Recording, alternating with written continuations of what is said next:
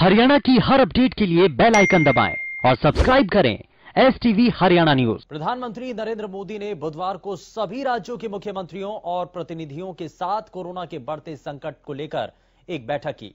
इस दौरान पीएम मोदी ने सभी राज्यों को निर्देश दिए कि एक बार फिर टेस्टिंग, ट्रैकिंग और ट्रीटमेंट पर ज़ोर देने की ज़रूरत है।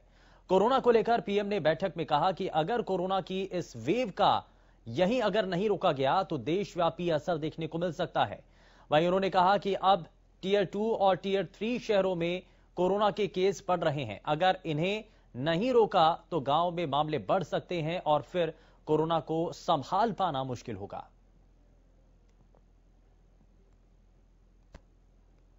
महाराष्ट्र और एमपी में टेस्ट पॉजिटिविटी रेट बहुत ज़्यादा है और केसों की संख्या भी बढ़ रही है, बहुत आ रहे हैं।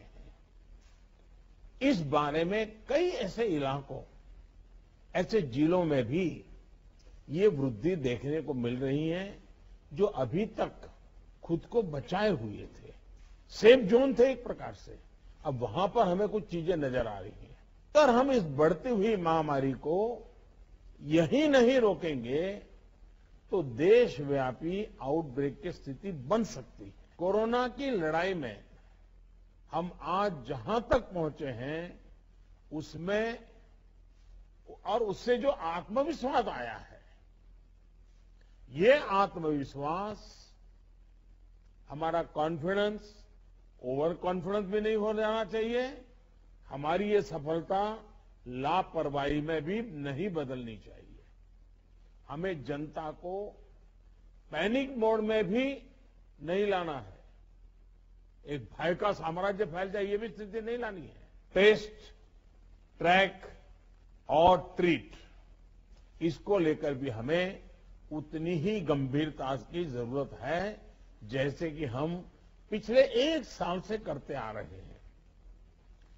हर संक्रमित व्यक्ति के कॉन्टेक्ट को कम से कम समय में ट्रैक करना और आरटीपीसीआर टेस्ट रेट 70 प्रतिशत से ऊपर रखना बहुत अहम है। इस बार हमारे टीयर टू और टीयर थ्री शहर जो शुरू में प्रभावित नहीं हुए थे, उनके आसपास के क्षेत्र प्रभावित ज़्यादा हो रहे हैं।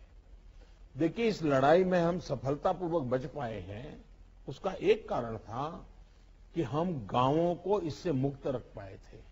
लेकिन tier two, tier three city पहुँचा तो इसको गाँव में जाने से देर नहीं लगेगी और गाँवों को संभालना हमारी व्यवस्थाएँ बहुत कम पड़ जाएगी।